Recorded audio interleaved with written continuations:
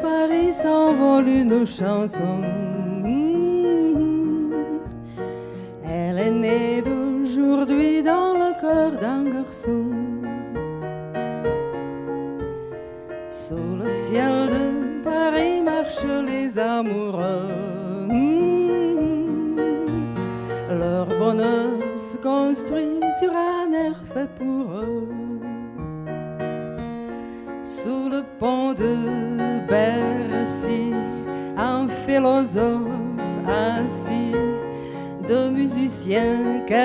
Badauds, puis les gens par milliers.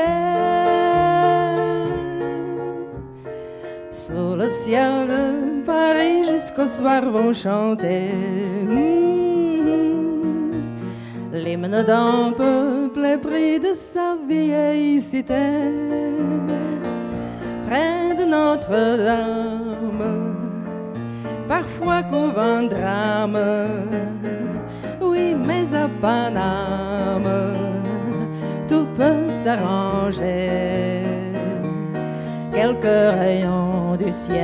d'été, l'accordéon d'un marinier, l'espoir fleurit au ciel de Paris. Mais le ciel de Paris n'est pas longtemps cruel. Hmm. Pour se faire pardonner, il offre un arc-en-ciel.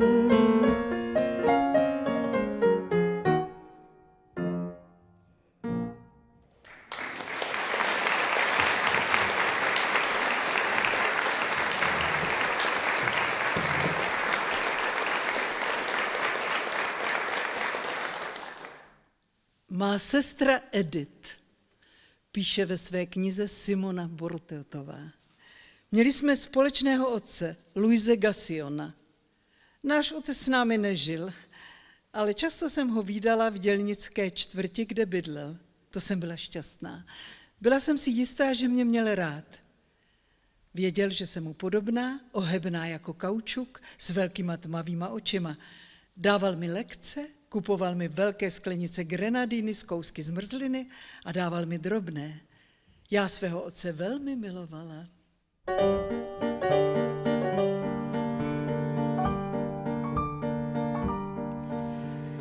Ta píseň se plíží jak dým, už z dálky ji rozpoznávám a splétá se s osudem mým. Já nevím, kam ukryt se mám. Jednou se snad dočista zblázním, proč den co den v hlavě mi zní. A pokaždé, když se s ní srazím, já věřím, že mé setkání právě teď je poslední. Padam, padam, padam, tahle píseň je jako můj stín. Padam, padam, padam, je jak ďábel s prstem zdviženým. Padam, padam, padam, dávné skutky mi připomíná, zatajit před ní nemůžu vůbec nic, ta všecko z paměti znám. Já s chutí se jí vyhýbám a marně chci zapomenout. Pak ozve se, tady tě mám a zamotá mě do svých pout. V té písni se zas kam si vracím, tam do víru slibů a lží a v duchu všem nevěrným splácím a vidím, jak v dálce krouží záludnou komedií.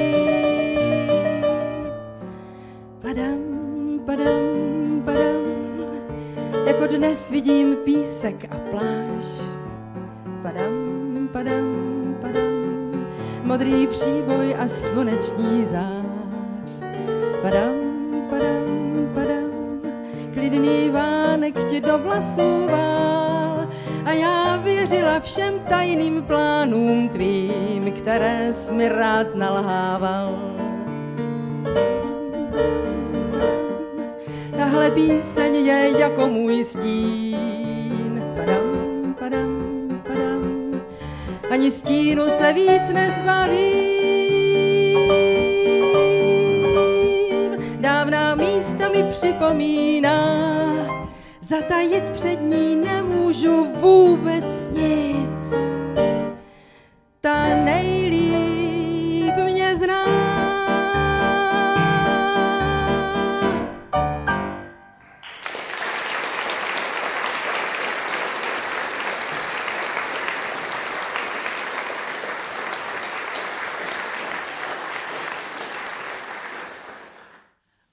Byl akrobat, artista, ale ne ten na poutích nebo v cirkuse, jeho jevištěm byl chodník. Ovládal vědu ulice, měl cit pro kouty, které nesou. Neusadil se jen tak lec, kde mezi kolegy platil za znalce výhodných míst. Jedním slovem profesionál. Samotné jeho jméno bylo doporučením, když člověk řekl jsem Gasionova, vynutil si tím jistý druh úcty. Když tatík rozbil stan na nějaké třídě nebo na bulváru, zkrátka na něčem širokém, kde je hodně místa a lidé se mohou bez potíží zastavit, zkrátka kde se dá pohodlně očumovat, když tedy tatík rozložil svůj koberec vydřený až na osnovu, bylo hned jasné, že přestává legrace a začíná vážná podívaná. Přihnul si pořádně z láhve Gesto, které se lidem zamlouvá, protože když chlapík předem pije, znamená to, že se taky řádně zapotí. A pak dal k lepšímu nějaký vtip. Edice s ním potloukala pět let a moc pěkně ho dovedla napodobit. Strašně ráda se opičila po lidech. Odkašlala si, jak to dělával tatínek, hlas jí zdrsněl a spustila – Uvidíte, co uvidíte, vážení. Bez reklamy a bez humbuku umělec pracuje rovnou před vámi. Bez sítě, bez pilin, bez repetiček. Až vybereme stosu, začneme. V té chvíli vhodil kdo si na kobereček desetník, jiný dvacetník. Vidím, že jsou mezi vámi milovníci umění, skuteční znalci, pro jejich potěšení a pro tu čest vám předvedu jedinečné číslo ekvilibristiky na palcích, jaké neuvidíte na celém světě. Sám velký Barnum, kníže cirkusu, mi za ně nabízel sumy přímo pohádkové, ale já povídám, pařížská krev, ta není na prodej, no nemám pravdu vašnosti. Svoje zlato si nechte, já si nechám svou svobodu tak ještě maloučko se snažte, ať můžeme začít to představení, nad kterým žasly korunované hlavy celého světa i odinut. I Eduard král anglický i sám princ Velský sestoupili se svých trůnů až na ulici, aby se na mě mohli vynadívat. Před uměním jsme si všichni rovni. Tak jen sáhněte do portmonek, mý princové, a jdeme na to.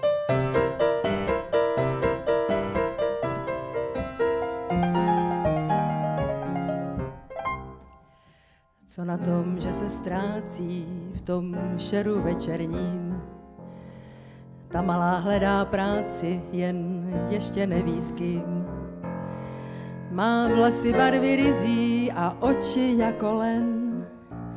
A lhátý není cizí, má nejtajnější sen. Že ten, co se jí líbí a co jí nedá spát, splní to, co jí slíbí, jen pro ní bude hrát. Valčík roztančil sál, pro ní nejhezčí bál právě začal a s ním její štěstí. Mladý harmonikář rozesmál její tvář, konečně poznává, co je štěstí. Hudba ji ohluší, tep se jí rozbuší, nechce věřit, že ví, co je štěstí a tak zmatená hrou odchází noční tmou hledat v ulicích své malé štěstí. Tak brouzdá ve všech loužích je zimou prolezlá a zákazníci krouží, co chtějí, dobře zná. Teď život zdá se k pláči a smutku nemá dost a v slzách svůj sen smáčí, jak podvedený host. Vždyť ten, co se jí líbí a co jí nedá spát, vždycky jen něco slíbí a pak jde jinam hrát. Valčík roztančil sál, pro ní nejhezčí bál právě skončil a s ním její štěstí. Mladý harmonikář rozplakal její tvář, už nikdy nepozná, co je štěstí. Hudba ji ohluší, tep se jí rozbuší, nechce věřit, že zas nemá štěstí. A tak zdrcená hrou odchází noční tmou hledat na chodník své malé štěstí.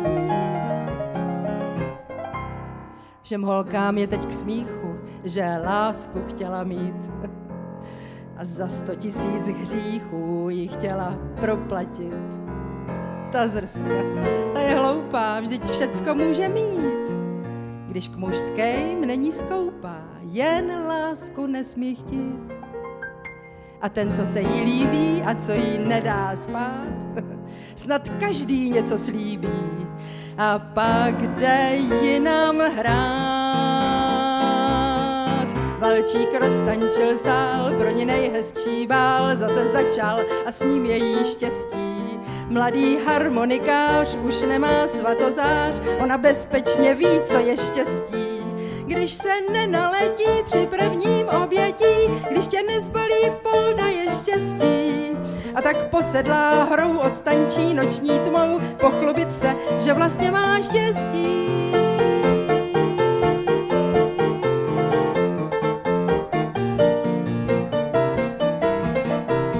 Přestaňte, zastavte tohle štěstí.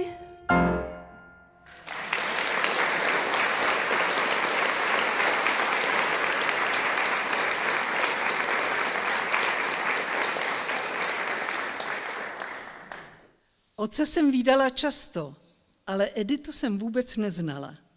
Bydlela tehdy v Berny a já jsem o ní slychala jen vyprávět.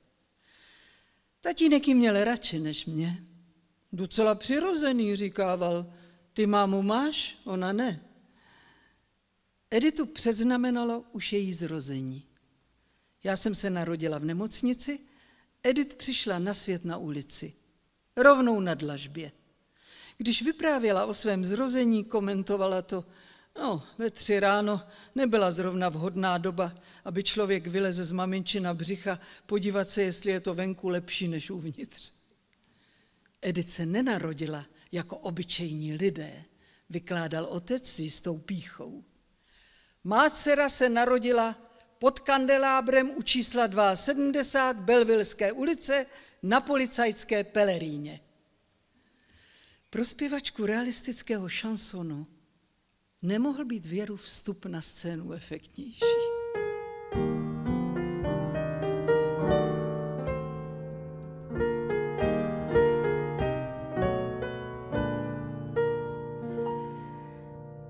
Co je víc než láska nejdražší, láska, která hory přenáší, ať se zem i nebe zhroutí, co mi na tom záleží. Kdo má rád, ten vlastní světy má a ty z dálky stále objímá.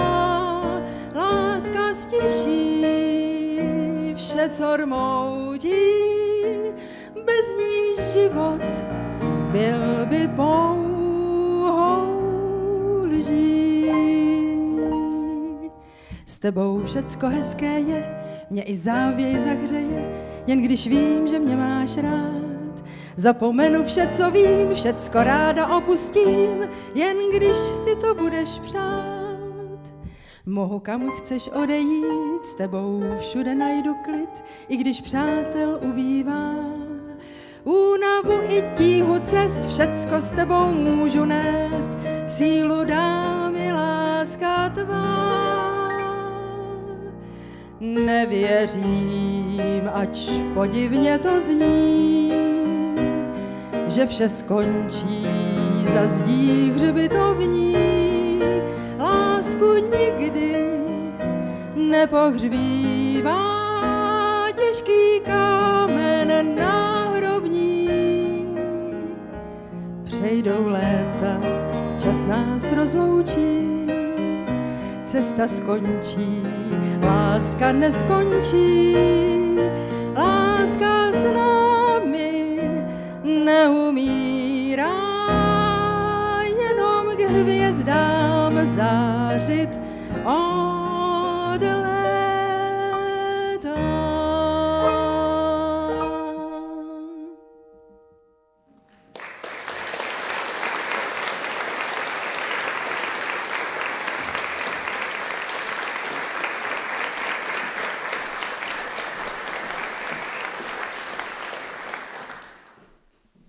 Ty jsi Edit? Zeptala jsem se jí.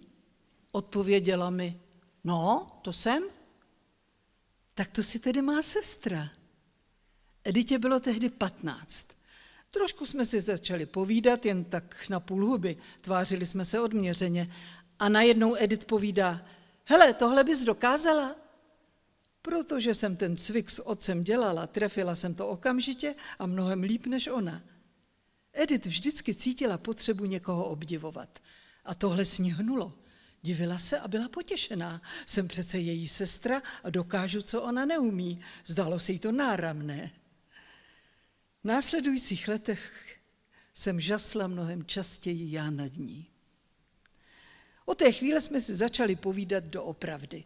Ptala se mě, co ty děláš? A já jí odpověděla, nic zajímavého, jsem dělnice a vydělávám 84 franků týdně. Když se Edith o někoho zajímala, hned také měla potřebu se o něj postarat. A tak mi řekla, tohle už dělat nebudeš, zůstaneš se mnou. A co pak ty děláš? Zpívám po ulicích. Byla jsem z toho celá pryč. A uživíš se tím, že se ptáš a nemám žádného šéfa? Dělám si, co chci, pracuju, kdy chci. Jestli chceš, tak tě zaměstnám. Tohle mi dodalo. Zdala se mi přímo obrovská. Byla bych za ní šla na konec světa. A taky jsem to udělala. Tehdy v parku jsme si našli lavičku, posadili jsme se a Edith mi dělala přednášku. Víš, u táty jsem se naučila řemeslu, znám šikovná místa a vím co a jak. Vždyť už s ním přece nejsi. Ne, měli jsme toho oba dost. Jednak mi bral všechny prachy. A pak ty věčné macechy mi začaly lézt krkem, hlavně ta poslední. Fackovala mě a já už fackám odrostla, takže to pochopíš. Chápala jsem dobře.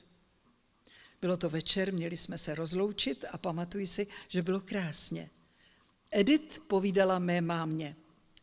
Mohla by pracovat se mnou, kdybyste chtěla. Nese to slušně zpívat po ulicích, však uvidíte sama.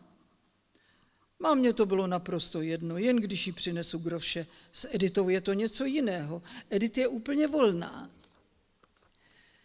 Vložila jsem svou ruku do její a vydali jsme se zpívat. Má práce byla vybírat a docela to klapalo. Potom večer jsme šli za mámou a dělili jsme se na půl. Pár dní to takhle klapalo docela dobře, potom se to Edit rozleželo. Hele, netrhla jsem se od táty, abych chodila k raportu k tvý mámě. Chci si žít po svém. Tvý mámě mám akorát. Přece ji nebudeš den co den strkat všechny prachy. Musíme mít volné ruce, aby se dalo pracovat. Budeme zkrátka žít spolu. Já jsem se zalikala štěstím. Vypravili jsme se k mamince, Edith si dala na kuráž a povídá jí. Najímám vaši dceru na dobro, budu ji vydržovat sama. Bydlet bude u mě, mám svůj pokojík.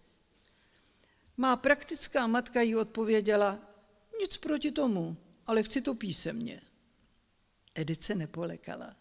Vyrobila mi pracovní smlouvu. Byla to asi první smlouva, kterou Edit v životě podepsala. Celé to bylo trošku legrační, protože máma sotva dovedla číst a Edit tak takže psala. Ale provedla to.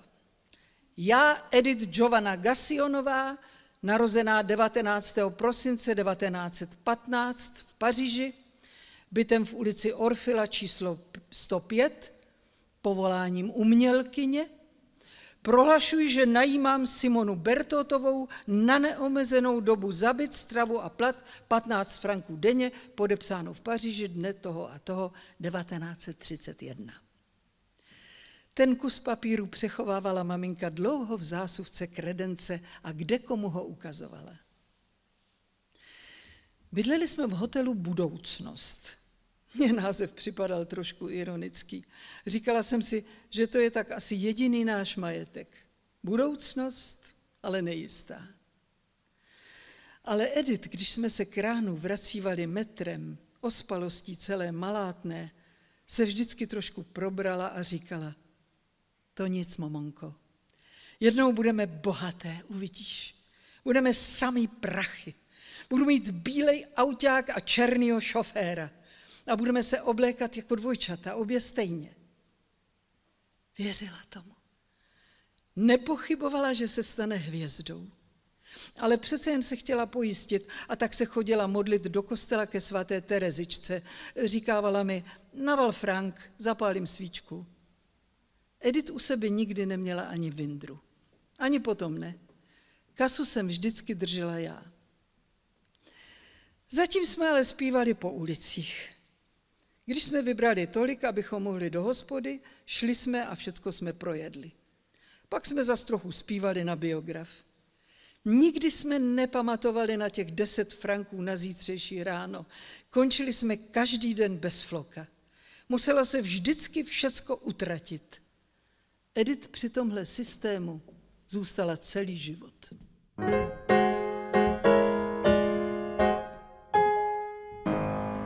Štrámáku jen pojď dál, nestůj jak v plotě kůl, kam pak bys pospíchal.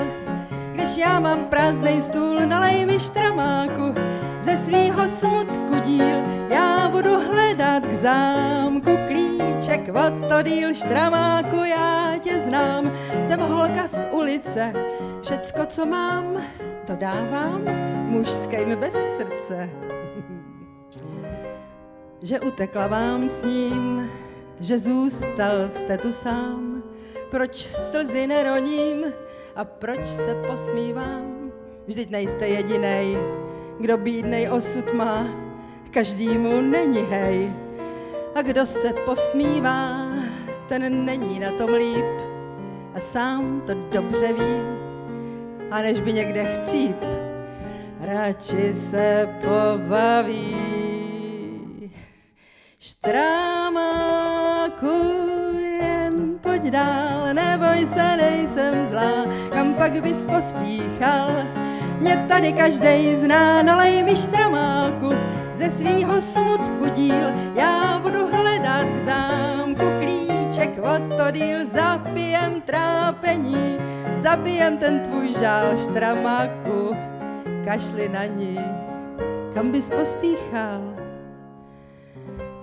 Já měla taky splín, to pravej smutek byl, Děvčátko, sotva splín mi smrťák navštívil. Já neměla jsem nic, nic, co bych mohla vzít a funebrákům dát a rakev zaplatit. Tak šla jsem do ulic a dostala jsem plat od chlapa. Dal mi víc a nechal mě tam stát. Štrámáku tak pojď blíž a sundej ten svůj frak, když život je tak krásný, když máš na koněk, aspoň mi zaspívej, trochu to rozjedem, nebo mě obívej a svlíkej pohledem, s tebou se podívám, třeba i do pekla. To slzy tečou vám, to bych do vás neřekla. Ale no tak, už na ní nemyslete. Teď ona vám za to nestojí. A usmějte se trochu. No líp, no ještě líp. No, to je ono. Ta-da-dam. A zaspíváme si spolu. Ta-da-dam, pa-da-dam, ta-da-da-dam,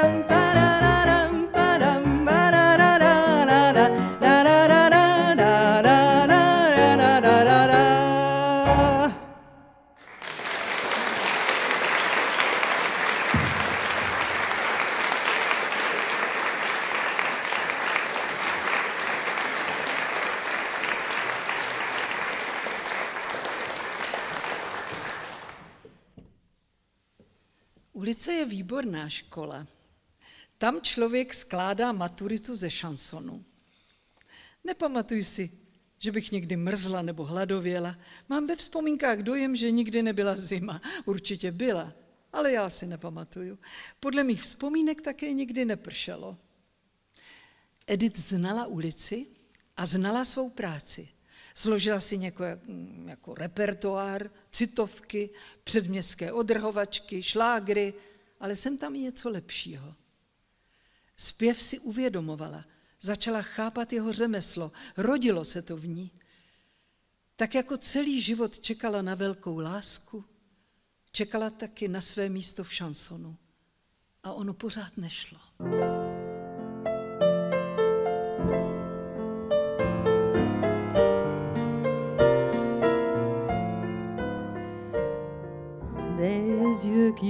Baisser les miens, un rire qui se perd sur sa bouche, voilà le portrait sans retouche de l'homme auquel j'appartiens. Quand il me prend dans ses bras, il me parlait tout bas, je vois la vie en rose.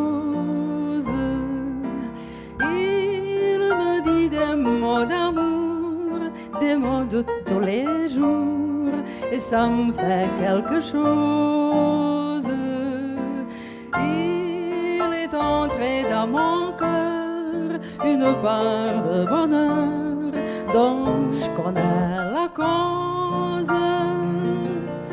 C'est lui pour moi, moi pour lui dans la vie. Il me l'a dit, l'a juré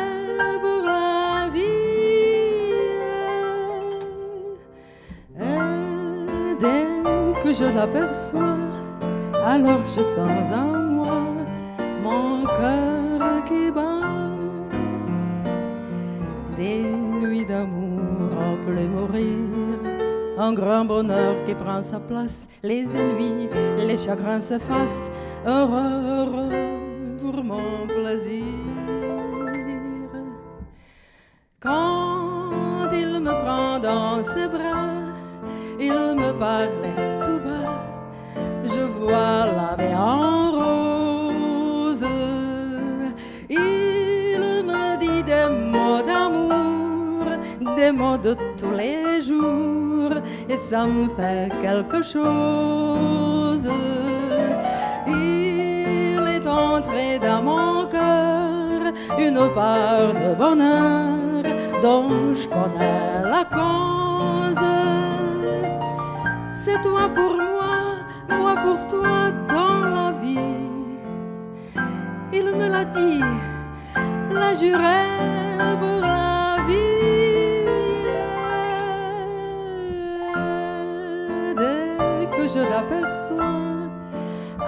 je sens en moi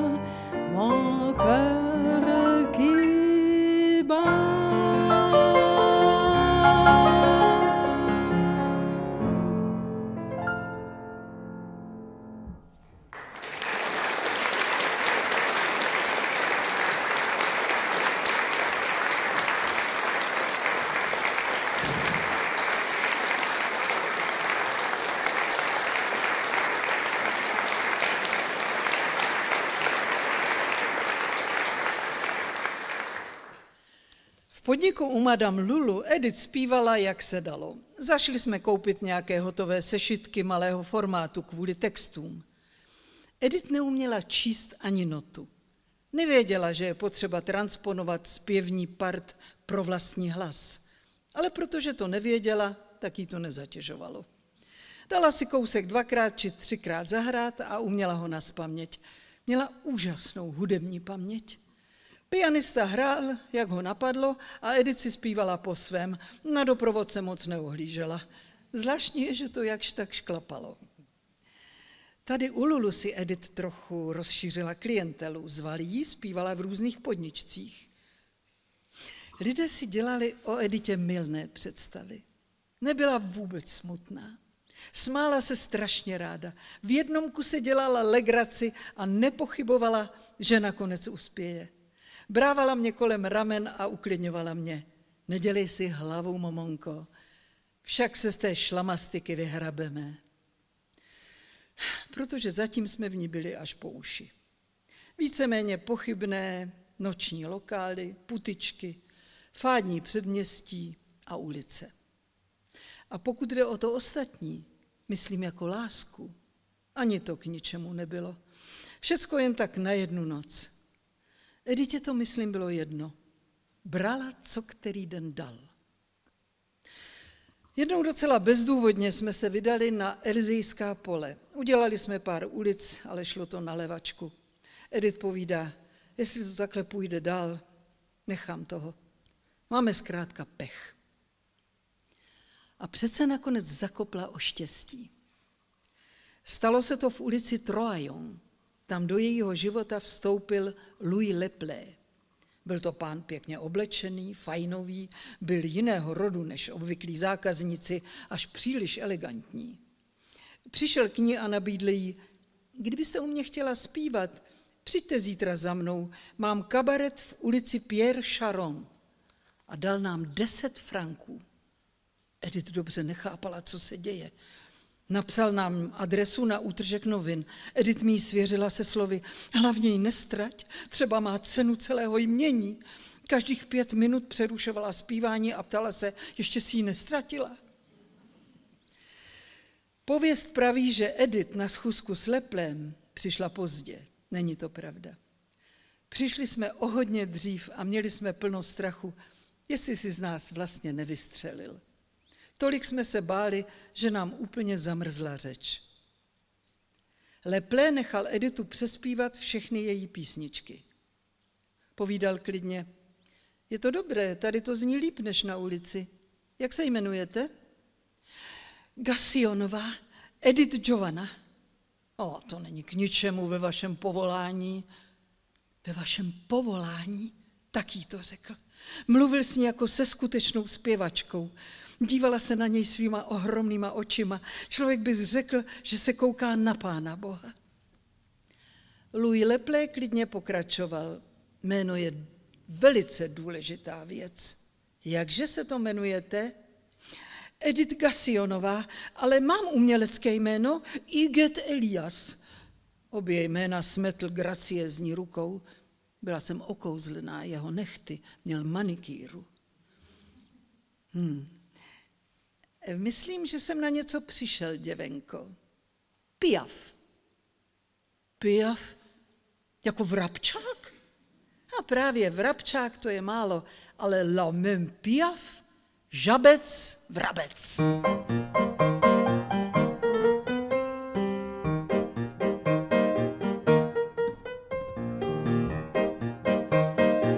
Tu me fais tourner la tête mon manège à moi, c'est toi. Je suis toujours à la fête quand tu me tiens dans tes bras. Je ferai le tour du monde, ça ne tournerait pas plus que ça. La terre n'est pas assez ronde pour m'étourdir autant que toi. Comme on est bien tous les deux quand on est ensemble nous deux. Quelle vie on a tous les deux quand on s'aime comme nous deux, on pourrait changer de planète. Tant que j'ai mon cœur près du tien, j'entends les flancs-flancs de la fête et la terre n'y est pour rien.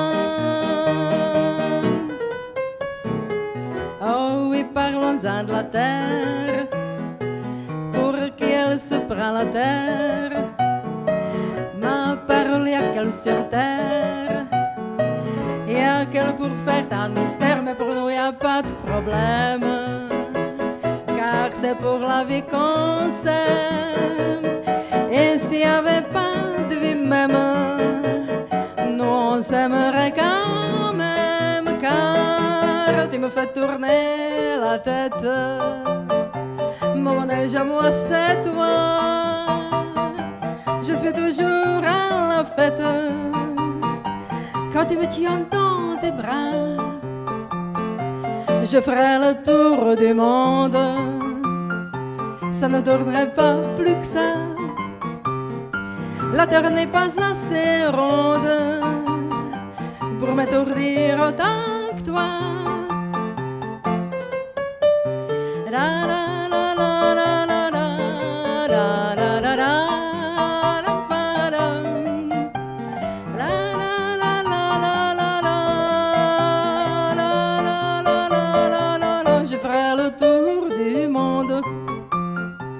ne tournerait pas plus que ça. La terre n'est pas assez ronde. Mon manège à moi, c'est toi.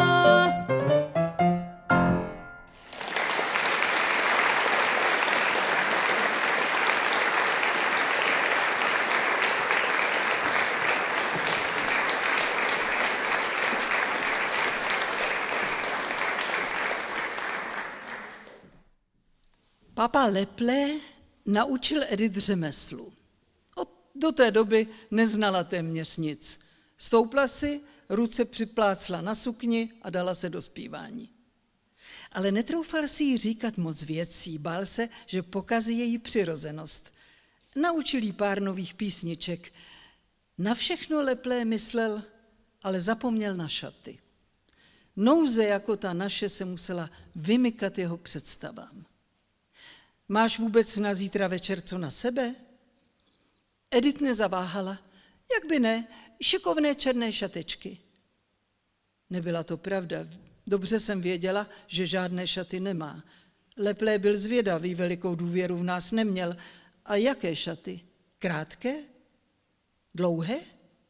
Eh, Krátké. Pozor, abys pak nevypadala moc naparáděná. Jednodušší si neumíte představit. Zítra je přines, uvidíme.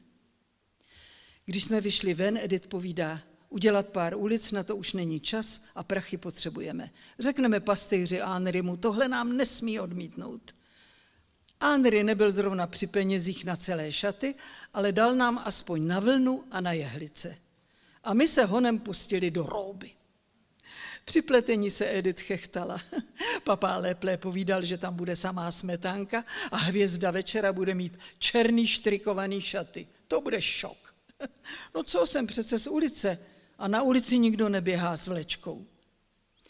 Pletli jsme, až se z nás kouřilo celou noc, jehlice jako kůly, aby to přibývalo.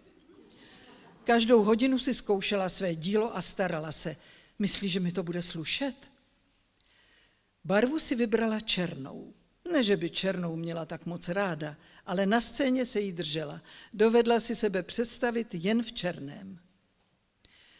Druhý den večer, v den premiéry, jsme přišli k Lepleovi celé dvě hodiny předem. Edith si položila mou ruku na srdce a povídá, cítíš, jak skáče? No, bude si muset zkrátka zvyknout. Ještě ho párkrát pořádně proženu. A tak se taky stalo. Do samého konce nedala svému srdci odpočinout. Sukně byla rovná, nic našího. Vršek taky šel, ale rukávy nám dělali potíže. Museli jsme párat a tak jsme najednou měli nakonec šaty s jedním rukávem. Edith ta vždycky našla řešení, ať si budu zpívat s holýma rukama jako fréhelka, vypadá to víc večerně. V tom se objevil leplé. Jdi se mi obléknout, ať to vidím. Když uviděl šaty, div se nezhroutil. On, takový slušný člověk, začal láteřit. No ty se na dobro zbláznila. Pro Krista pána to nemyslíš vážně, šaty bez rukávů. Prosím tě, za koho se máš? Myslíš, že jsi Damia nebo Frehelová? Ty mají přece paže, ale podívej se na sebe, jak vypadáš s těma sirkama. Vzal chudáka Editu za rameno a třepal s ní před zrcadlem jako s hadrovou panou. No to prostě nejde, všecko je skažené. Ha, vypadáš to máš k pláči. K pláči jsme věru neměli daleko a spustili jsme hned, jak skončil. Všecko se zhroutilo, protože jsme neměli prachy. Naštěstí byla v sále žena Morise Chevaliera, Ivon. Slyšela Leplea hulákat a tak se šla podívat, co se děje. Ale Ludvíku nevyváděj, vždyť to děvče vyplašíš a jak má potom zpívat? Ty vážně myslíš, že ji takhle pustím na scénu? Hm, rukávy k tomu nemáš? Mám jenom jeden, na druhý už nám nezbyl čas a s jedním rukávem prý zpívat nemůžu. Nemáš aspoň šátek? Šátek byl ve veliké módě, ale my to nevěděli. Edith, která bez tak nikdy moc barvy neměla, byla teď bílá jako umyvadlo. To nevadí. Zkrátka to nevyšlo, nebudu zpívat. Ivonína to povídá. Tady máš druhý rukáv. A podala jí vlastní šátek, veliký čtverec fialového hedvábí. Na místě jsme z něho stvořili druhý rukáv. Louis Leple ji představil jediným gestem. Z ulice přímo do kabaretu, tady máte žabce pijav.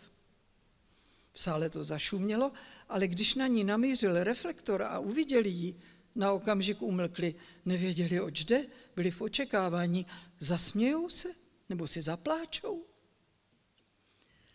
Stála v syrovém světle sama, se splihlými vlasy, namoučněnou tváří a rumělkovými rty. Ruce jí bezvládně visely podle plandavých černých šatů. Vypadala tu ubohá a jako ztracená. A vyhrála to hned první písničkou. Lidi se přestali bavit. Ale když dospívala, nikdo nezatleskal. Ani aplaus, ani šeptání, nic než ticho. Nevím, snad to trvalo 20 vteřin, ale zdály se nekonečné. A tu najednou se lidi roztleskali jako pominutí, jako by padali kroupy na buben. Slyšela jsem, jak mi leplé říká, je to dobré, ta holka je chytla.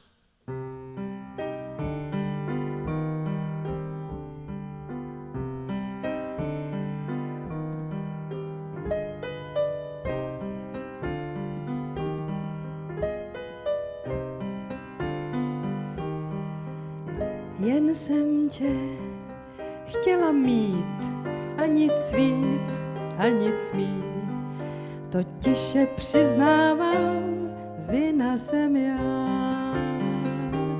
V polštářích s krajkami, jak v ráji bylo mi. To hrdě přiznávám, vina jsem já to tvé oči a ústa byly jak bezedné poháry vín, ze kterých lakotně pila jsem bez zábran tempem bláznivým. A předla jsem v náručí lásky tvé područí. Když chcete, přiznávám, vina jsem já. Jen ten, co nikdy netoužil mít lásku, aspoň na pár chvil, ať zavrhne mě, odsoudí, je snad hřích chtít lásku dávat. Sváděla jsem s lehkostí, s neřestnou drzostí, to pišně přiznávám, vina jsem já. Do pastí s vůněmi, vystlaných růžemi. Svou kořist vpletla jsem, vina jsem já.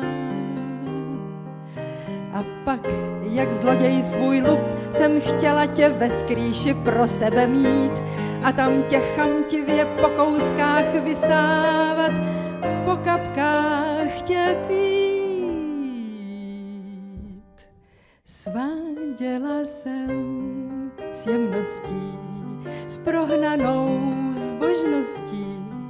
To všecko přiznávám, vina jsem já. Ale v den, kdy mě o to požádáš, o lásko má, budu tě svádět dál. Vina jsem já vina jsem já.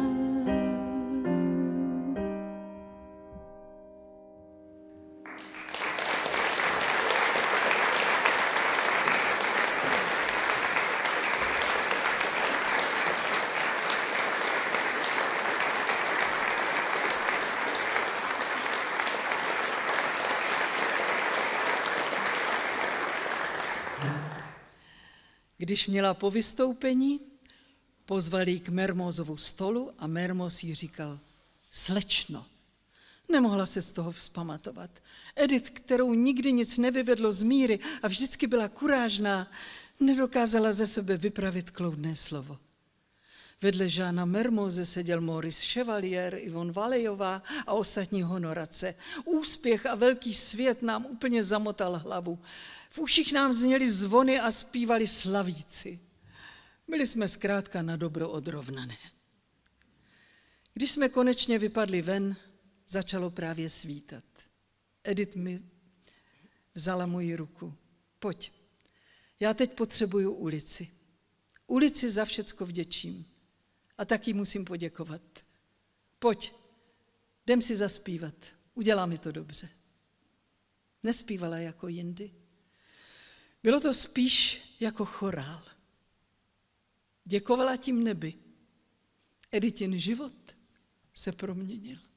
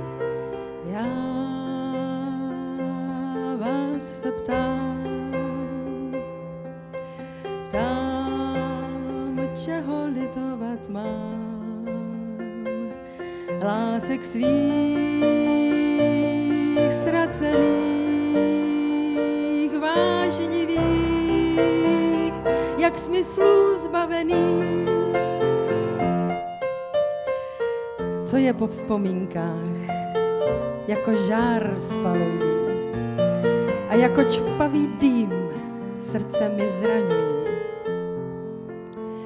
Počítám dluhy své, navždy je splatit mám. Dávno jsou bezcené, od nuly začíná. Já vás se ptám, čeho litovat mám, dnů plných radostí průšvihů, pádu a marností. Já vás se ptám, ptám, čeho litovat mám. Teď s tebou začínám znovu žít. Minulost nechme být.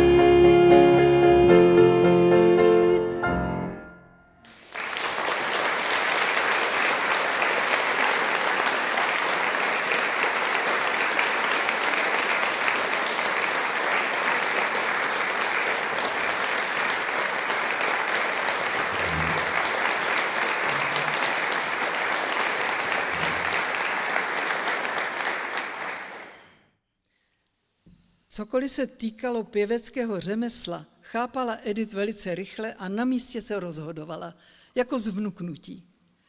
Tak se stalo, že Edith uviděla Anetu Lažonovou, zpěvačku v té době dost uznávanou. Bylo to u vydavatele Morise de Kryka, ten měl Editu docela rád. Jako obvykle jsme se krčili v koutku, když tu se vnese dovnitř veliká blond dáma, jejíž persona dokázala řádně zvířit vzduch, hezká, pěkně oblečená a sebejistá. A začala zpívat cizince. Momonko, tuhle písničku nebo žádnou, tuhle musím mít, je pro mě jako stvořená. Je to celý Mermos a zrovna tohle bych s ním chtěla prožít. Určitě vím, že bych jí zpívala dobře, dala bych do ní celé srdce.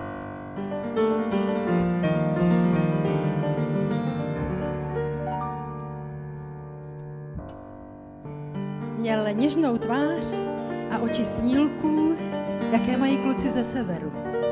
Ve vlasech trochu zlata, úsměv anděla. Málem jsem ho minula bez povšimnutí, ale když mi řekl svým melodickým hlasem Dobrý večer, poznala jsem najednou silnou touhu tajemnou. S ním byl večer krásný, pohled měl něžný, v duši smích. Odešel sám, mě nechal hřích. Odkud jsi a jak se jmenuješ? Loď je mým domovem, moře mým městem. Na jménu přece nezáleží, ale srdce mám smutný. Chceš? Prodej mi trochu svý lásky. Cítila jsem najednou silnou touhu tajemnou. Líbal mě byl krásný, pohled měl něžný, v duši smích. Odešel sám, mě nechal hřích. Prostě a bez přetvářky jsme se milovali s mým milencem, s mým manželem na hodinu. A jako všichni nešťastní, i on uvěřil, že ve mně vidí tu pravou ženu, pro kterou se pláče. A já se srdcem vyprahlým. Doufala jsem najednou, že mi řekne, pojď se mnou. Snídal a byl krásný, pohled měl něžný, v duši smích odešel sám, mě nechal hřít.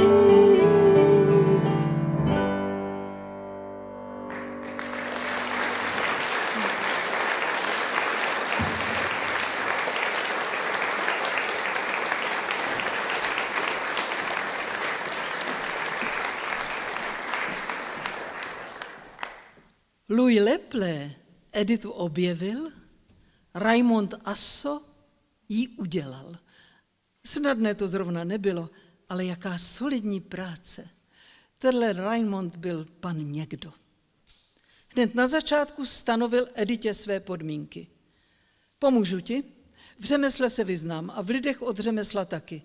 Zaručuji ti, když mě poslechneš, že je konec mizérie, ale taky konec špásu. Budeš muset tvrdě makat a dělat všecko, co ti řeknu. Chlapy a chlast vynecháš. Buď přijmeš, nebo nepřijmeš. Když ano, můžeš se na mě spolehnout, nenechám tě v rejži. Když ne, jdi si klepat na jiné dveře. Edith byla jako vyjevená. Nikdo nikdy s ní takhle nemluvil. Přesná slova, přesný tón. Řekla ovšem ano. Musím Raimondovi čestně přiznat, že udělat z žabce vrabce Edith Piaf nebyla žádná hračka. Nejenom, že ji musel učit všemu od A až do Z, ale ještě ji musel hlídat a honit. Sotva od ní Raimond na chvilku odskočil, hned zvedla kotvy a tradá. Nesnesla být chviličku sama. Kde koho poslechla, neodolala skleničce a veselé partě. S časem zacházela právě tak marnotratně jako s penězi. V jejich vztahu byly pořádné výkyvy. Edice brzy unavila. No, vžijte se do její situace. Není to žádný špás, když je člověku 21 pryč a ustavičně musí poslouchat. Tohle nesmíš. Drž tu vidličku pořádně, neodkládej nůž na ubrus, nemlaskej přídle, nemluv přídle, je se zavřenou pusou. Když jakž takž zvládla jeden obor, pustil se Raimond na jiné pole. Neumíš se oblékat. To tedy byla pravda. Edith měla strašlivý vkus. Milovala nabírání, plizátka, volánky, křiklavou červeň. Tohle, když Raimund zvěstoval Editě, nastal menší rámus. Hele, nepliť se, do čeho ti nic není, parádě nerozumíš. Na scénu jsou ty černé šatičky docela dobrý, to je to hlavní, a na ulici si můžu dělat, co chci. Právě, že na ulici musíš zachovat tentýž styl jako na scéně. Je to součást tvé osobnosti. Raimond také pochopil, že Edith nemůže zpívat repertoár ostatních šansoniérek, že jí musí udělat program na míru. Žádná konfekce jí nepadla. Pro ní byly třeba věci na objednávku. Pustil se do toho sám. Začal jí vyrábět písničky. Edith a Raimond Asso nebyli spojeni zlatým snubním prstínkem, byla to svatba šansonem. Brzy vrátila Edith Raimondovi všecko, co jí dal, stal se slavným hlavně její zásluhou. Raimond stejně jako ostatní nepřesáhl u Edity 18 služebních měsíců. Jediný rozdíl byl v tom, že se říkalo Piaf a Asso ještě dlouho potom, co byli od sebe.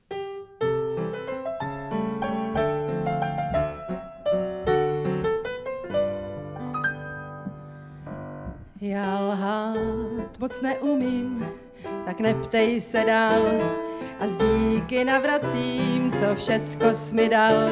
Tvůj smích mě nebaví, své dárečky si nech, vím, nejsi jen můj, jsi jako pytel blech. Lásko má nezoufej, poslední den zakončíme válčíkem. Mohl si mít, co si chtěl, že spodváděl, loučíme se válčíkem. Já ti přísahám, že už mě víc nespatříš, jen co odejdu, pak o mě neuslyšíš. Miláčku, usměj se, poslední den zakončíme válčíkem. Já vážně brala tvůj tak horoucí cit, když slíbil zděsně rád, že budeš mě mít. A páv by záviděl, jak pišná stála jsem, cítit bylo žár pod tvým pohledem. Lásko má nezoufej, poslední den zakončíme válčíkem. Mohl si mít, co si chtěl, že spodváděl, loučíme se válčíkem já ti přísahám, že už mě víc nespatříš, jen co odejdu, pak o mě neuslyšíš. Miláčku, usměj se, poslední den zakončíme válčíkem. Já dávala se zlákat medem tvých rtů a kroužila jak můra za světlem snů. Už zbýval jenom krůček aby spadla mříž. Víc to neskoušej, jen měl bys se mnou kříž. Lásko má nezoufej, poslední den zakončíme válčíkem. Mohl si mít, co si chtěl, že spodváděl, loučíme se válčíkem. Já ti přísahám, že už mě víc nespatříš, jen co odejdu, pak o mě neuslyšíš. Miláčku, usměj se, poslední den zakončíme válčíkem.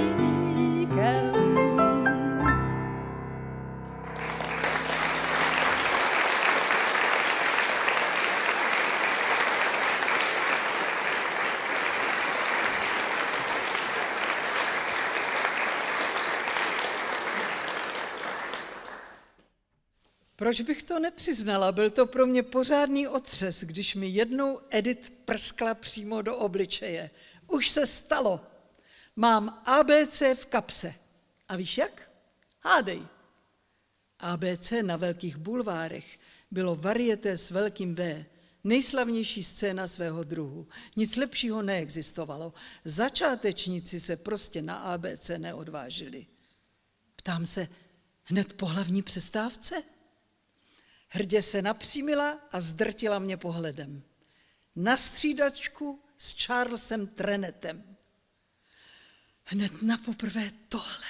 Ani se mi to nechtěla uvěřit.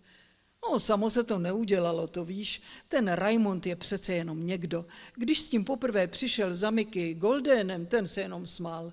Nech toho svého žabce na dlažbě, k nám se nehodí. Ale Raimond nepřestával.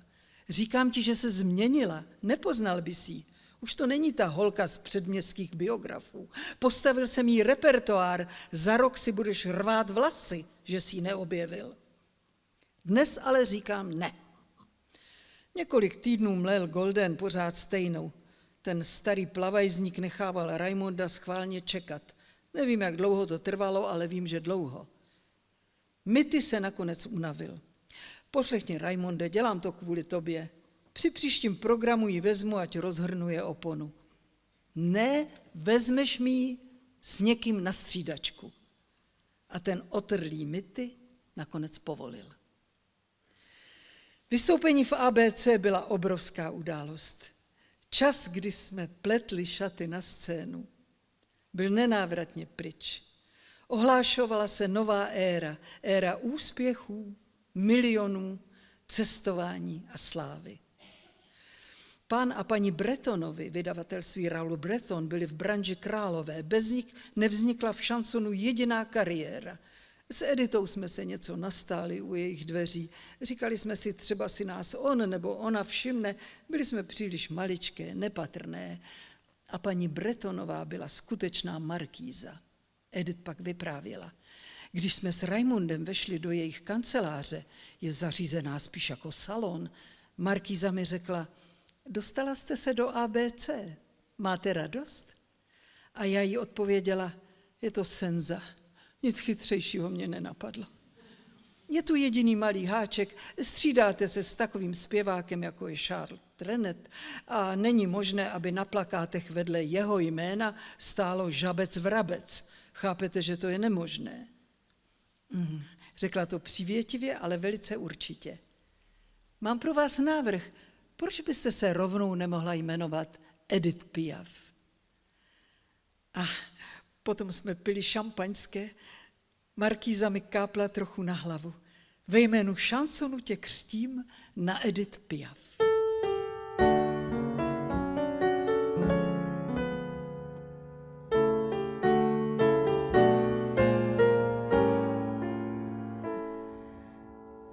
Le ciel bleu sur nous peut s'écrouler et la terre peut bien s'effondrer.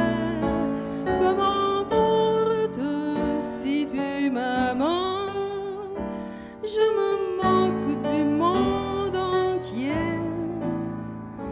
Tant que l'amour inondera mes matins, que mon corps sous tes mains, peu m'importe les problèmes, mon amour, puisque tu m'aimes?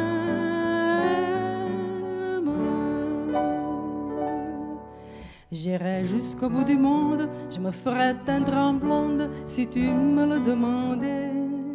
J'irai décrocher la lune, j'irai voler la fortune si tu me le demandais. J'irai loin de ma patrie, je renierai mes amis si tu me le demandais. On peut bien rire de moi, je ferai n'importe quoi si tu me le demandais. Si un jour la vie t'arrache à moi, si tu meurs, que tu sois loin de moi,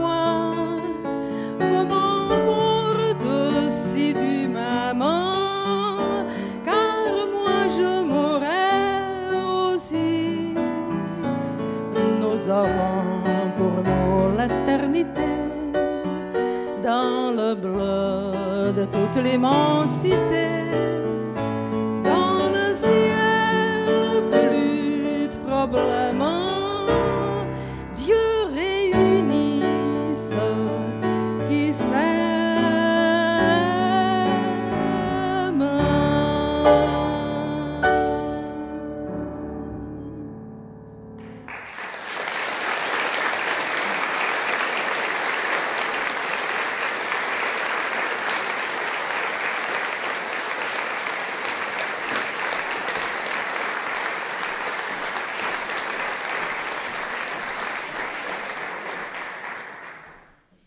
Kdykoliv Edith milovala, vždycky bylo osmnáct. Bývala jako puštěná ze řetězu. Užírala se, žárlila, chtěla vlastnit, nedůvěřovala, nadávala, zamykala své chlapy na klíč. Byla náročná, nesnesitelná. Chlapí ji zmlátili, ona je podvedla. Pro ní všechno tohle byla láska. Uprostřed křiku a skandálu jen rozkvétala. Byla šťastná. Přitom, když milovala, byla schopna muže obdivovat, uctívat, dělat pro něj všechno, s oblibou své miláčky oblékala pro vlastní potěšení.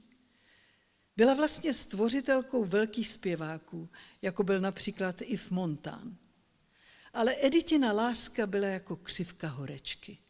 Vyrazila pruce vzhůru, div nepraskl teploměr, pak horečka pomalu klesala a pak přišel pád pod normál. Pod 35 stupni se Edith třepetala chladem, měla zimomřivé srdce a tak se začala rozhlížet, kdo by jí zahřál. Byl jenom jeden, kterého opustit nestačila. Marcel Serdan, boxer, muž, kterého nesmírně milovala. Když byli s Marcelem v Americe, Edith si vzala do hlavy, že by ho mohli chtít otrávit. Přišla na jednoduché řešení. Použila mě jako morčete. Objednala biftek a poručila mi, momonko, sněz polovičku. Druhá půlka byla pro Marcela. Totež udělala se zeleninou a s hruškou. Rozkrojí na půl a jes. On si vzal druhou půli. Tak to jsme dělali po všechny dny před jeho zápasem. Pro žádného jiného z jejich chlapů bych tohle nedělala. Přísahám pro žádného, ale pro něj to bylo něco docela jiného. 21. září jsme docela nenápadně dojeli k Rooseveltovu stadionu v New Jersey, kde se konal zápas. Jeli jsme v autě s Marcelem, sám si řídil. Jeho soupeř Tony ten se dostavil s náramným humbukem pod blesky fotoreportérů a zaprovolávání slávy. Hlídač na parkovišti nám povídal, ani nestojí za to parkovat. Zápas s tím francouzem skončí jedna dvě, za minutu je vyřízený. Marcela nepoznal. Ale ten se nevzrušil a klidně povídá Editě, tak to vidíš, za chvilku jsem zpátky. Pak ji políbil a odešel bez spěchu svým obvyklým krokem. Jeho široká záda na chvilku zacpala dveře do šatny a Lisien nás uvedl na místa. Když zavřu oči, slyším dodnes v hlavě a v celém těle údery gongu jako ten večer.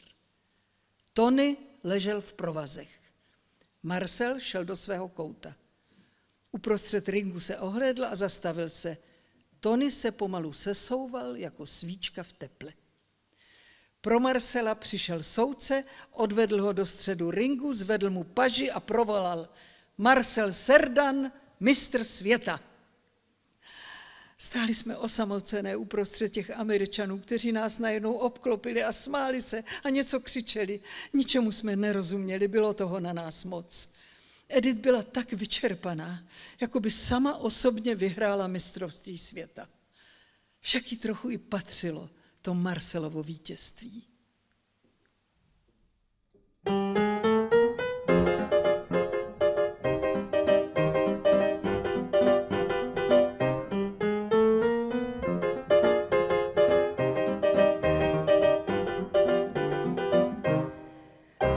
Znovu vidím, jak to jásají a šílí, město zaliká se samou radostí a já slyším kolem sebe každou chvíli smích a křik a slova plná hloupostí. Jsem tak ztracená zde mezi těmi blázny, co se chechtají a za nic neručí. Náhle ohlédnu se, stačí pohyb prázdný a dav hodil mě do jeho náručí a kolem jenom davy lidí vláčejí nás, unášejí, tisknou víc a presují a lepí k sobě blíž. V tom proudu lidí bez násilí, spoutaní a šťastní, jsme plni opojení, vynášení stále výš. A kolem jenom davy lidí, veselí se, tancují svou farandolu, zatímco my máme k sobě blíž. V tom proudu lidí bez násilí, spoutaní a šťastní, s rukama spletenýma vznášíme se výš a výš.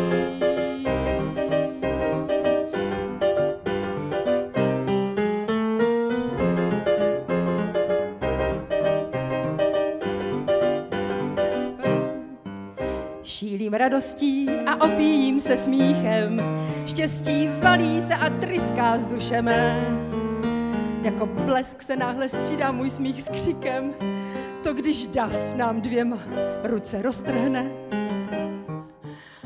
a kolem jenom davy lidí vláčejí nás, odnášejí, vzdalují, my ztrácíme se nenávratně dál. Já puším kolem sebe, vidím, jak mi něco říká, ale v tom jásotu se mu hlas rozplýval. A kolem jenom davy lidí, veselí se, tancují svou farandolu, zatímco my ztrácíme se dál. Já proklínám ten dav, co mi tak rychle vyrval lásku. Proč vzal mi toho muže, sotva mi ho dal?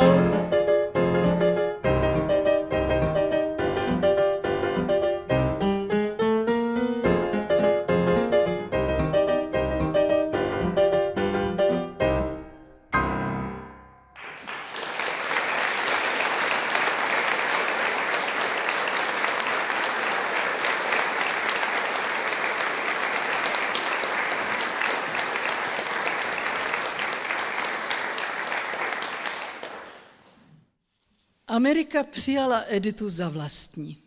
Od října 1949 měla další několika týdenní angažmá v divadle Versailles.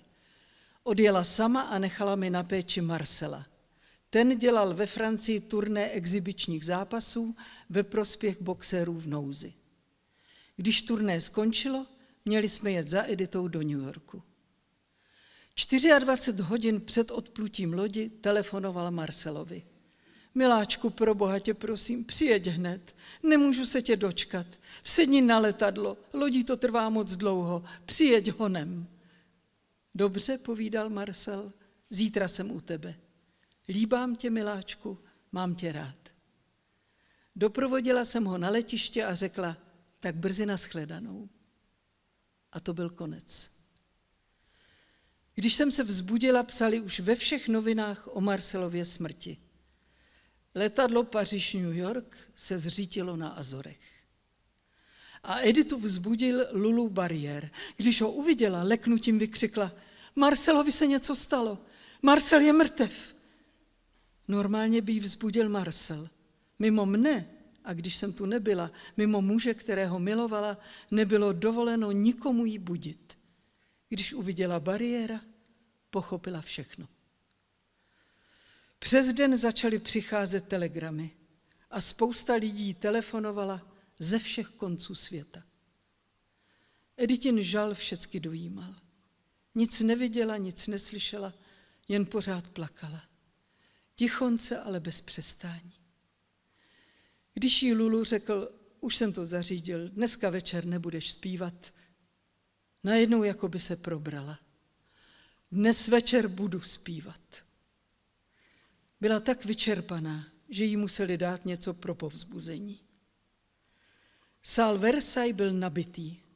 Když vystoupila na scénu, v kůželi světla drobnější a ztracenější než jindy, všichni najednou vstali a tleskali jí. Ona jim řekla, ne, to mi nepatří. Dnes večer budu zpívat jen pro Marcela Serdana, jen pro něj.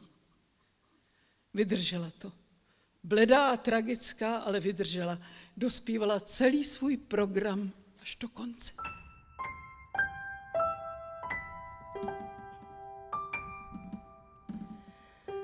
Bože můj, bože můj, bože můj, dík, že tu smím před tebou stát, dík, že tě mám prosím, že brám loudím. Ještě pár dnů dopřej mi dát, co mám. Já vím, že křídla svá si nechráním. Blázním, když láskám svým se nebrání. Bože můj, bože můj, bože můj, dík, že tu smím před tebou blízko stát.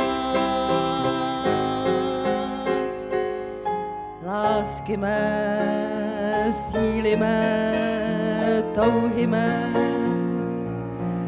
nastal čas, ze služeb svých propouštím vás. Hledám, pátrám, bloudím, v osudech svých listovat zpátky smím. Já vím, že víno své už dopijím, ve dvou snad naposled se opíjím. Bože můj, Bože můj, Bože můj, dík, že tu smím před tebou blízko stát.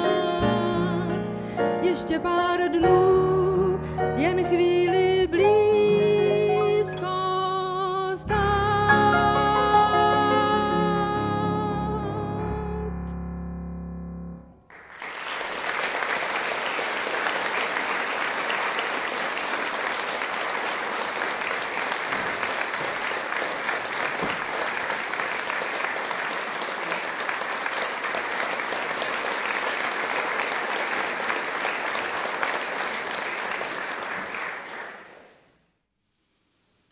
Roku 1951 do roku 1963 prodělala Edith čtyři automobilové nehody, jeden pokus o sebevraždu, čtyři desintoxikační kůry, jednu spánkovou kůru, třikrát jaterní koma, jeden záchvat šílenství, dva záchvaty deliria tremens, sedm operací, jeden plicní edém.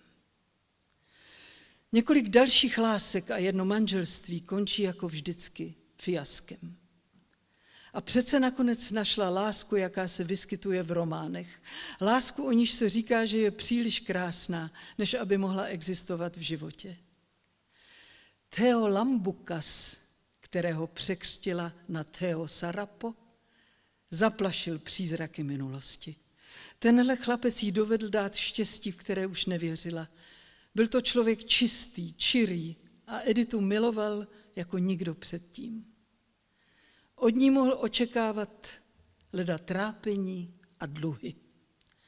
Před svatbou mi lékaři a jemu řekli pravdu. Věděl, že Edith je ztracená. A přesto si ji vzal za ženu. To mi připadá jako veliký důkaz lásky. Jeho zásluhou mohla Edith věřit až do samého konce, že je žádoucí a milovaná, i když nebyla než chudinka, co s největší obtíží snáší vlastní tělo skroucené bolestí. Až do posledního okamžiku jí dával to, proč žila. Lásku. Po jejím sňatku jsem jí nějakou dobu neviděla, až když mě k sobě zavolala po svém posledním návratu z kliniky. Fyzicky je Edith už jenom karikaturou toho, čím bývala. 33 kilo, obličej odulí. Zbyly jen fialkové oči a pohled té, která bývala žabcem pijav. Teo u ní bdí dnem i nocí, nic si neoškliví, ničím se nedá od ní vzdálit. Pečuje o ní, jako by byla jeho matka, jeho dítě a jeho žena zároveň. Přivykl vedle ní zázrakům, takže si nemohl uvědomit holou skutečnost. Mne ta skutečnost přímo byla do očí. Ale chtěla jsem s Editou probdít třeba celou noc, když jí to udělá radost. A začali jsme spolu žít zapomenuté hodiny v šíleně zrychleném tempu. Docela beze studu. Na stud teď nebyl čas. Jsme jedna před druhou rozprostírala vzpomínky z dětství a z mládí. Vyprávěli jsme páté přes deváté. Vyznat se v tom zmatku jsme mohli jen my dvě. Všechno jsme probrali, kde co jsme vytáhli na světlo boží a kypělo to a šumělo, jako když je pouť na pigal. Pamatuješ na námořničky, na naše ochránce, na Ludvíčka, na papa Leplea? Pamatuješ? Tak začínaly všechny naše věty. Editě se chtělo mluvit, byla zrůžovělá a celá čilá. Říkala, děti na takovou noc se nezapomíná. Odnesu si ji sebou do ráje.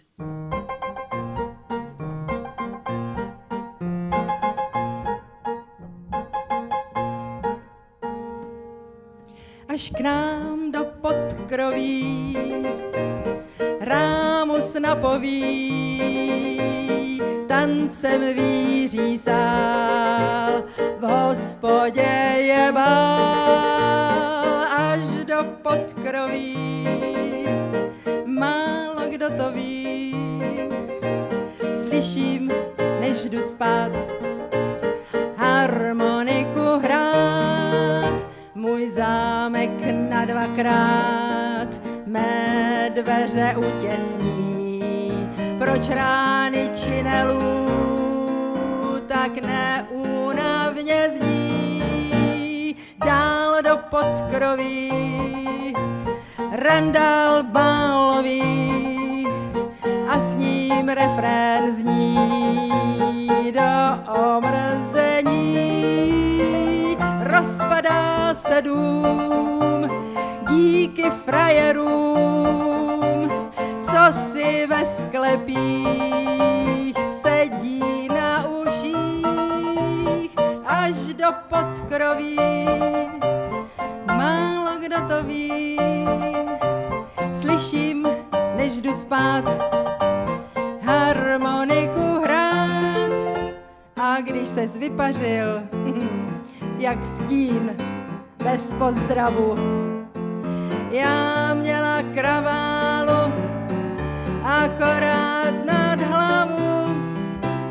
Tancem víří sál, v hospodě je bál, řádění a flám, to nepředělám. Mám se chvíli smát, chvíli nadávat, nezbejvá než jít,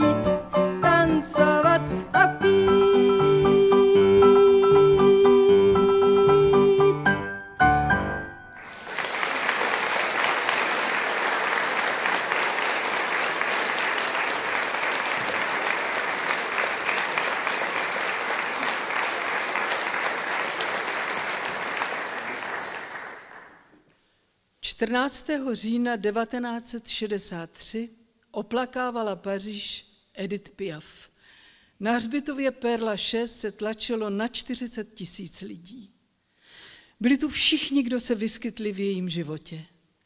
Marlene Dietrich ve smutku s černou hedvábnou šálou přes plavé vlasy, pod vrstvou líčidla velice bledá, obrátila tvář k těm lidem a povzdechla si. Jak jí milovali. Důstojný pan Leclerc začal odříkávat odčenáš. Ta, která celý život milovala svého pána Boha, opěvovala Ježíška, dovolávala se svatého Petra a modlila se ke svaté Terezičce, ta, která se tak často utíkala do kostela, neměla právo na poslední mši. Řím prohlásil, že žila ve stavu veřejného hříchu. Ale Monsignor Martin se obtěžoval, aby se z vlastního popudu pomodlil na jejím hrobě.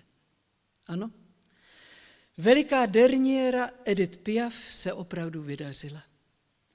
Jen doma na stole zůstala ležet řezba ve tvaru listu a na ní napsané Editino heslo Láska vítězí nade vším.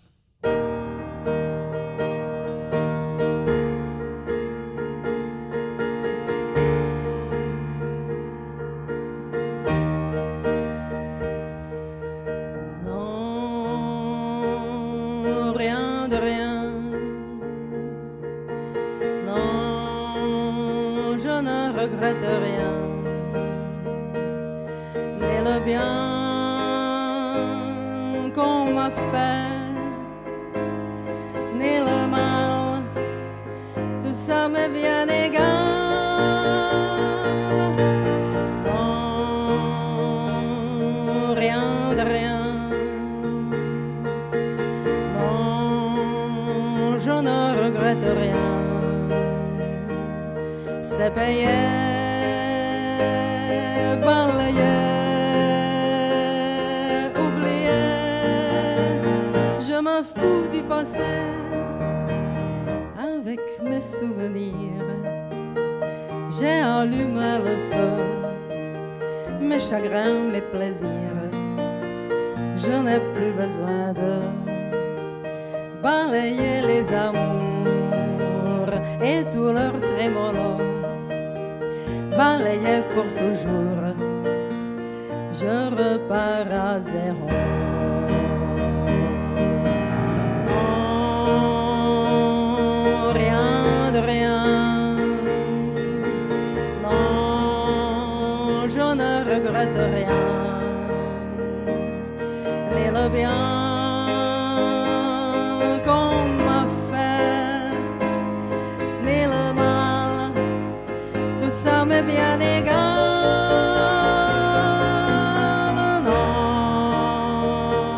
Non, rien de rien. Non, je ne regrette rien. Car ma vie, car mes joies aujourd'hui, ça commence avec toi.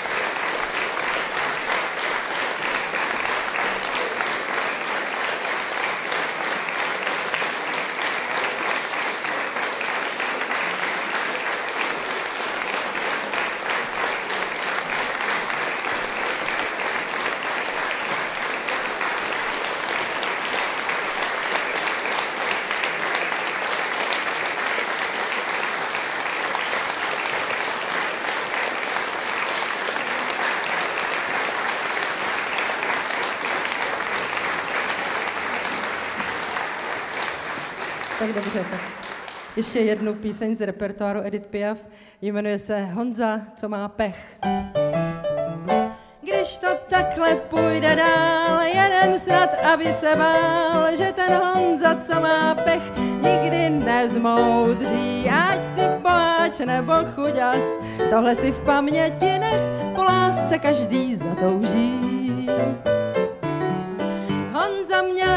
Hedvábí, každý večer u žáby hrával karty, slýchal jazz, páru nezmoudří. Máš-li srdce v zastavárně, jako Honza potom věz, po lásce každý zatouží. V salánech byl jako král, srkal, whisky pozoval, kdo ho viděl, věděl hned, ten už nezmoudří. Hezkou holku nenahraděj prachy ani velký svět, po lásce každý zatouží. Aby Honza prachy měl, mordoval a podváděl, policajtům zdrhnout chtěl, ten vážně nezmoudří. Kdo však mříže zevnitř viděl, rychle na svobodu chtěl, po lásce každý zatouží. A galáni, mrňaví či habáni, nechte Honzu osudu, ten vážně nezmoudří. Dvacet je vám jenom jednou, víc vám říkat nebudu, po lásce každý zatouží. Chci vám jednu radu dát, líp než čekat na špagát, ženskou na krk nechte si,